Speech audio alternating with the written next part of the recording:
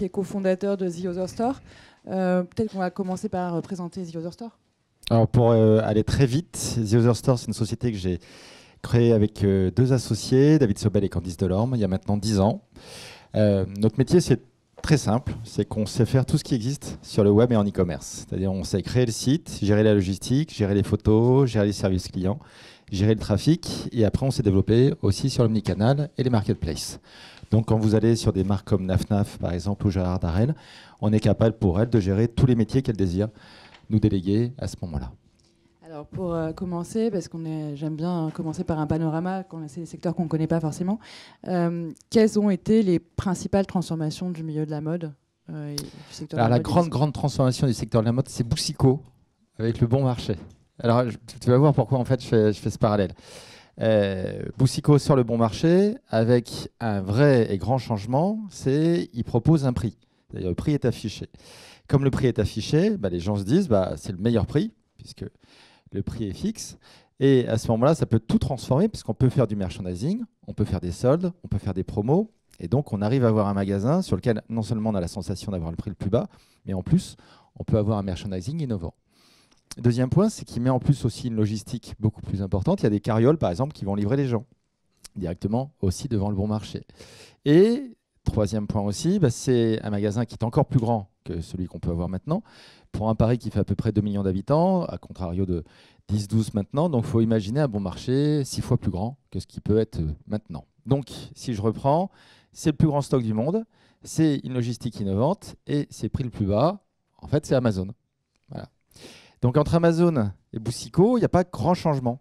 Donc le commerce a eu un grand changement en ce moment-là. Et puis la vraie transformation, c'est plutôt dans euh, l'ensemble de la zone de chalandise, où bah, le bon marché, c'était bien sûr Paris.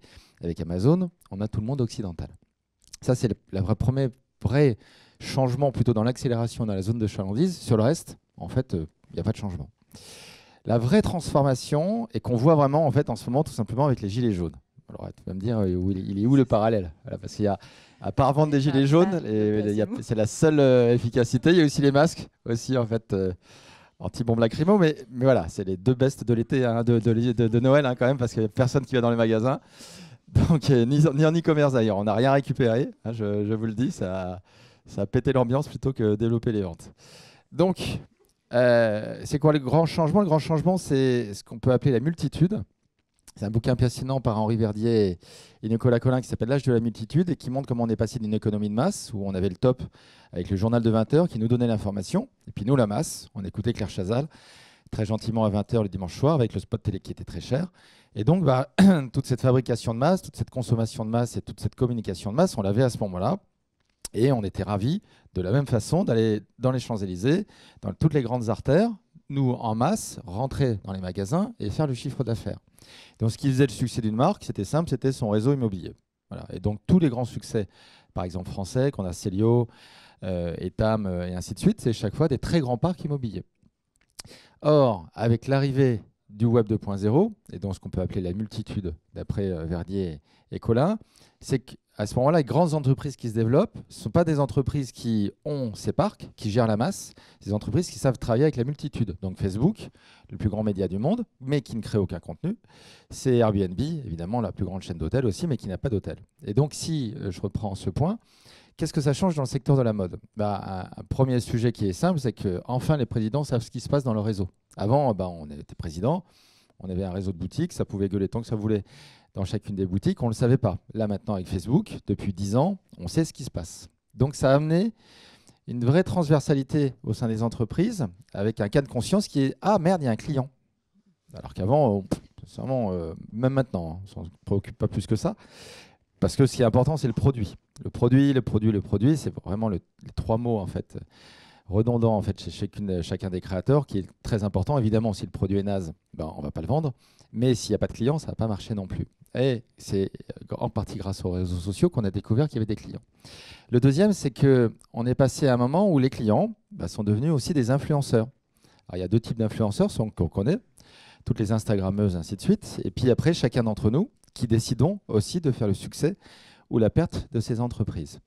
Et donc, bah, ces influenceurs, ça crée les nouvelles marques qu'on est en train de voir en ce moment, qui sont en train d'émerger. Je pense à des rouges, par exemple, créées par une Instagrammeuse, Jeanne Dalmas. Ou, euh, de l'autre côté, bah, toutes euh, ces sociétés comme, euh, par exemple, Bonne Gueule, qui travaillent, ou Horace, aussi dans l'homme, qui travaillent avec la communauté, de façon à pouvoir faire émerger des produits de qualité, une communication de qualité, des avis, et faire que bah, la marque est co-gérée, en fin de compte, chaque fois avec ses clients. Et c'est la grande transformation sur laquelle les marques euh, actuelles sont complètement perdues, parce qu'elles continuent saison après saison à faire de plus en plus de produits, avec de plus en plus de promos, donc de moins en moins de marge. Elles sont concurrencées évidemment par Amazon, qui est en train de prendre des parts de marché démentielles. Hein. Aux États-Unis, c'est presque 20% à peu près des parts de marché. Comme le prix n'est pas fixé, à contrario du bouquin, bah, ça, baisse toutes les marges. Donc toutes les autres marques sont en train de mourir les unes à côté des autres. Et en France, c'est que 3% des parts de marché. Donc si on rattrape les deux, bah, c'est à peu près 5 milliards qui va être pris. Et 5 milliards, bah, ça sera 5 euh, étapes de moins ou 5, 5 Célio de moins. Donc si on regarde bien le marché, il n'y aura plus de Camailleux, il n'y aura plus de, il y aura plus de Célio en fait normalement d'ici 4 ans. Donc, euh, j'espère qu'il n'y a personne de Célio et de Camailleux ici, sinon bonjour. Euh, donc c'est cette transformation en fait que la multitude est en train de faire.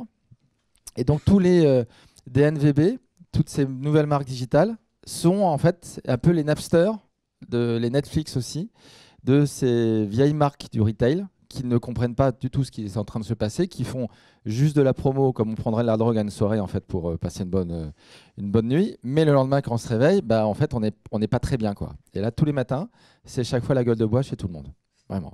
Et là, en fait, avec euh, la magie des gilets jaunes et de la température, en fait, où heureusement aujourd'hui il fait froid, mais quand même, en fait, c'était encore les, tropiques, en fait, il y a, quelques semaines. Bah, en fait, il y a des vraies problématiques de vente. Donc là, on est euh, sur un constat qui est pas fun, hein, quand même, on peut dire pour la mode. Hein, euh, voilà, je... On a bien compris c'est l'ambiance suicide. Hein, jaunes, quand même, il, est, que 9 h T'imagines à 18 h Moi, j'ai quand même une question.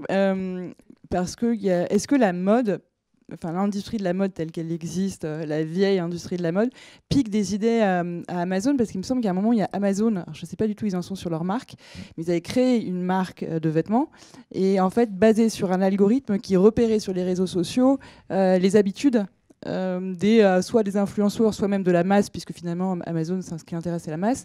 Euh, alors je ne sais pas du tout si cette marque existe encore, pour le coup j'ai pu repérer. Ah, et je ne sais pas si les, du coup si des entreprises, si la mode va vers ça ou pas.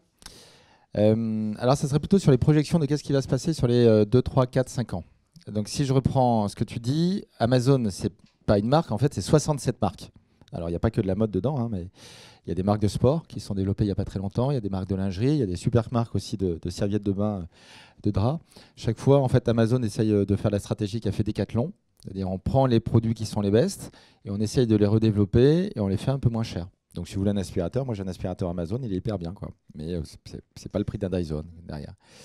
Donc, euh, Amazon, est-ce qu'il peut créer sa bonne marque? Alors, je pense oui, maintenant, mais ça dépend de la conception de c'est quoi la mode. Est-ce que la mode, c'est de la pure création ou est-ce que c'est de la copie améliorée? Perso, moi, je pense que c'est plutôt la, copie améliorée. Il y, a, des grands créateurs qui existent encore maintenant, des Jacques Mus, etc., qui arrivent à, créer des, produits vraiment différents. Mais pour 99% du marché, on a en fait un peu les mêmes freins que ce qu'on pouvait avoir la saison d'avant, avec des améliorations chaque fois successives. Or, quand on regarde ce qu'on a simplement dans notre iPhone, sur notre iPhone, on peut voir comment notre téléphone reconnaît les visages de tous nos proches. Et ça, il le fait très bien et tout seul, hein, comme un grand. Donc, partant de ce principe, il est assez facile maintenant avec l'intelligence artificielle de scanner tout ce qu'on peut avoir sur les réseaux sociaux, mais plutôt que de s'emmerder à aller sur les réseaux sociaux, prenons tout ce qu'il y a sur tous les sites de toutes les autres marques. Et comme on peut fabriquer à peu près en trois semaines, on voit ce qui est sorti dans une marque, on le refait, et derrière, on le redistribue. Et quand je dis ça, en fait, ça n'a rien d'original, c'est ce que fait Zara depuis maintenant 30 ans. Donc le, la stratégie d'Amazon n'est que la stratégie de Zara, appliqué, en fin de compte, aussi avec des nouveaux systèmes comme les réseaux sociaux. On peut scanner un peu ce qu'on veut dans tous les sens. Mais là, il n'y a, pas de changement spectaculaire. Le seul changement spectaculaire, c'est l'accélération de ce qu'on peut avoir parce que Zara se débrouille pour avoir des stylistes qui vont dans le monde entier pour récupérer toutes les créations qu'on peut avoir dans les multimarques. Là, avec Amazon, c'est pas la peine. On demande à des ordinateurs avec des algorithmes de le faire automatiquement. Mais sinon, en fin de compte, ça n'a pas changé grand-chose par rapport à ce qu'on pouvait avoir avant. Et alors juste sur un, principe, pour revenir un peu sur les, stratégies euh, marketing, euh, on entend beaucoup parler de Figital. du drive to store ou ce, genre de choses. toi, dans les, dans les réflexions de stratégie marketing que tu mets en place pour tes clients, quelle part prend le drive to store par rapport à une stratégie purement e-commerce? L'omnicanal est la seule boîte de sauvetage qu'on peut avoir par rapport à ce que Amazon est en train de faire. Et quand je parle d'Amazon, il y a aussi Alibaba, hein, parce qu'on on ne le voit pas forcément, mais AliExpress, c'est quand même génial pour acheter des cachemires à 20 euros. Donc euh, ça, reste derrière un très très gros volume déjà en France, alors que ce n'est pas forcément très connu. Et donc bah, pour s'en sortir, on reprend le click and collect dont tu parlais tout à l'heure. Et donc cette stratégie omnicanal est mise en place depuis maintenant à peu près 7 ans par les marques de mode. Euh, c'est la réponse assez simple à ce qu'a pu entraîner l'e-commerce, parce qu'avant, un vendeur en boutique, souvenez-vous, il y a maintenant un peu plus de 10 ans, avant que l'e-commerce était vraiment développé, il avait tout. Il connaissait les produits et il pouvait décider de faire une promo quand il voulait. Maintenant, quand on rentre avec notre iPhone, on connaît le produit avant et en plus, on peut voir si ailleurs c'est moins cher. Donc, le, vendeur qui avait tout pouvoir, c'est le client maintenant qu'il a repris. Et l'omnicanal arrive à redresser derrière les échanges entre les deux, où le client, par exemple, peut voir facilement comment réserver un produit sur un site. Et donc, on l'avait lancé, par exemple, chez Nafnaf et Claude Diplerlo, mais il y a maintenant près de 6 ans chez The Other Store. Et donc, en réservant son produit dans la boutique, on savait qu'il était disponible pendant 2 à 3 jours. Donc, ça a permis à ce moment-là non seulement au client d'avoir plus de services, et puis surtout au vendeur d'avoir plus d'infos, d'avoir les coordonnées du client, de savoir ce qu'il veut acheter et d'avoir son historique de vente. Donc ça, c'est ce cet omnicanal qui est en train de se mettre en place et qui marche plutôt très bien. Hein. C'est en fait ce qui a permis au moins la moitié de la croissance euh, du digital, où à faisant, les marques faisaient à peu près, euh, il y a 10 ans, à peine 1% euh, de leur chiffre d'affaires sur le digital, essentiellement sur vente privée. Et puis au bout d'un moment des années, ça s'est développé. Il y a 4-5 ans, c'était 5%, et maintenant, c'est un peu plus de 15%. Et la moitié des 15%, c'est l'omnicanal. Donc l'omnicanal est la, la, vraie source de développement. Et je pourrais même dire qu'en fait, ce n'est pas 15% du chiffre d'affaires.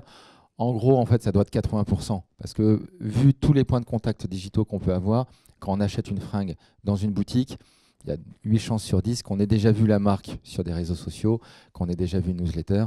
Euh, qui, je, te valide, la newsletter, c'est 25% de notre chiffre d'affaires. Donc ça, ça, marche toujours aussi bien. Donc cet omnicanal, c'est vraiment en fait euh, ce qui va permettre à toutes les marques de créer quelque chose de très fort avec son client. Il y a un seul vrai souci en France, à contrario de ce qu'on peut avoir aux États-Unis, c'est que les ERP, euh, tous les systèmes de gestion qu'on peut avoir avec les produits, sont en général obsolètes.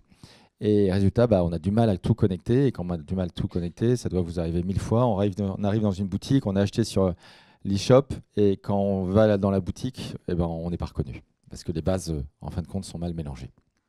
Donc ça fait partie des, des, améliorations, avant que les marques meurent.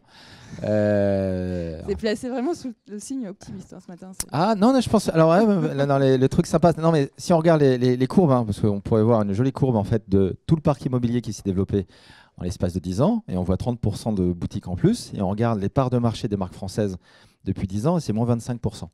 Donc en fait, quand on dépense 30% de plus en, en boutique et qu'on fait moins 25% en volume, en général, ça se finit bien. C'est euh, voilà. c'est tout. ça va aller vite, mais ça on le voit aux États-Unis. Hein. Aux États-Unis, ça, c'est chaud quoi. Bah, si la stratégie est une stratégie immobilière, peut-être que l'un dans l'autre. Euh, juste, bon, alors avant de parler d'immobilier, est-ce qu'on pourrait revenir sur des tendances euh, qui se dessinent d'un point de vue consommation ou stratégie marketing pour ce secteur très particulier qui est la mode euh, quoique peut-être on peut se dire aussi que toutes les stratégies d'acquisition d'un consommateur euh, sont un peu euh, toujours identiques. Alors il y a, y a, trois sujets importants en ce moment. L'influence, donc comprendre comment est-ce qu'on va travailler avec la multitude. Deux, l'acquisition, comprendre comment on va gérer tous les nouveaux leviers d'acquisition. Et trois, le CRM, comprendre aussi qui est le client. Donc là, ces trois axes sont activement travaillés par les marques. Elles ne mettaient pas beaucoup de budget derrière ces investissements. Maintenant, elles mettent vraiment, en fait, il y a un vrai engouement à derrière investir dans le digital pour aller plus loin. Et après, dans les deux gros axes sur les 3-4 ans qui vont changer les choses, le premier, ça va être toute la partie blockchain, puisque la blockchain, on le voit sur le Bitcoin, permet d'avoir une monnaie qui est sécurisée. Et on va avoir la même chose sur les produits, où quand on achète sur vestiaire collective, bah, il y a toute une armada de personnes qui vérifient que le produit est de qualité. Or, la blockchain va permettre aussi d'avoir des produits bah, systématiquement certifiés. Et cette certification, va permettre aussi une explosion de la seconde main. Seconde main qui est drivée par euh, deux sentiments. Le premier sentiment, c'est un sentiment écologique. Quand on achète de la seconde main, bah, on ne pollue pas la planète. Donc derrière, ça va, à mon avis, en fait, justement fortement contribuer à ce changement d'état d'esprit qu'on peut avoir en ce moment. Le deuxième, c'est que c'est moins cher. Et que comme on cherche de la promo dans tous les sens et qu'en plus les marques maintenant sont beaucoup moins créatives que ce qu'elles pouvaient être avant parce que les tendances aussi vont plus haut dans ce sens-là, on achète de la seconde main avec plaisir. Donc la seconde main va réussir et grâce à l'innovation et grâce à une tendance euh, naturelle de notre, de notre part d'avoir euh, des produits en fait qui sont identiques aussi depuis des années. Et le deuxième gros changement, ça va être plutôt dans la voix. Euh, parce qu'on peut l'avoir quand on a chez soi Google Home, quand on a Alexa ou, ou tous ces autres outils, mais quand simplement sur son téléphone. Hein, parce que si je dis, dis Siri, normalement mon, mon téléphone va, va, va, réagir tout de suite. Si je dis dis Siri, rappelle Rachel, ça ne marche pas. Donc, euh, la voix, en fait, change les choses. On l'a vu, je ne sais pas si vous aviez vu l'exemple de Google Duplex, qui est euh, une vidéo de Google qui permet à un ordinateur de prendre automatiquement une réservation euh, pour se faire coiffer le lendemain. Donc, il y a une capacité de la voix à parler facilement. Il y a une capacité aussi désormais à changer les images facilement. On le voit aussi à travers le fake Obama, un discours d'Obama qui n'est absolument pas un discours qu'il avait pu faire, mais des vidéos qui ont été transformées. Et donc, quand je prends les deux, que je mélange le tout et que je vois la, croissance des processeurs et l'arrivée de la 5G, on peut se dire qu'en boutique, dans 5 à 10 ans, on peut avoir vraiment des vendeurs virtuels. Et les vendeurs virtuels, c'est pas que un vendeur, c'est nous. Parce qu'on arrive, on est scanné, et d'un seul coup, on peut vraiment essayer le produit et on peut se parler. Parce qu'on peut se parler, parce qu'aussi, à partir du moment où on est connecté sur les API, Instagram, Facebook, etc., on a aussi beaucoup de data sur nous. Et pour peu que les marques nous connaissent à travers tous nos achats, elles sont capables aussi d'analyser ce qu'on a voulu acheter et ce qu'on a voulu aimer aussi les années précédentes. Donc résultat, on peut avoir un vendeur qui est nous-mêmes et on pouvoir échanger avec lui. Et ça, c'est pas fou en fait de se dire que dans 10 ans, ça peut arriver dans une boutique. Donc on sera notre auto-conseiller. Mmh, tout à fait, oui. Moi, je n'écoute que moi. Ça, ça se voit d'ailleurs. En fait, euh, ça fait 10 minutes que je le fais et je le fais pareil en boutique. Donc ça reboucle avec, euh, avec le narcisse. Et, euh, C'est ça. Bravo. Et l'air du mois. Merci. Est-ce qu'il y a des questions sur, sur, cette question, sur ces questions de mode? Y aura-t-il de vrais créateurs aujourd'hui? Ils disparaissent quand même de plus en plus? Bah, Est-ce qu'il y en a encore? Oui. Enfin, il y en a encore, mais ils ne gagnent pas leur vie. Oui, me se faire acheter, c'est bien aussi. Hein. Ça permet d'avoir du capital et aussi de pouvoir se développer. Donc c'est euh, et après que ce soit les Asiatiques qui nous rachètent, c'est normal. C'est eux qui innovent et c'est eux qui ont, aussi euh, beaucoup plus de rentabilité. Donc euh, oui, la Chine est en train de racheter beaucoup, beaucoup, beaucoup de marques françaises. C'est Isabelle Marant, c'est tout aussi Carven avec une très belle marque de cachemire, Icicle, qui vient de le racheter, comme Nafnaf aussi, qui a été racheté également. Donc que les Chinois en fait achètent beaucoup de marques françaises, c'est une vraie tendance et ça va continuer année après année. Et c'est plutôt sympa parce que ça va permettre aussi aux marques françaises de pénétrer mieux le marché chinois et d'avoir aussi derrière bah, un milliard de consommateurs et, ça permettra aussi de, bah, pour elles tout simplement de tenir aussi ces prochaines années. Par contre, dans la création, non, il n'y a plus de création comme avant. Y a plus, mais il n'y a pas un désir de création qu'on pouvait avoir euh, de façon identique à ce qu'on avait il y a 10, euh, plutôt 20 ans à peu près.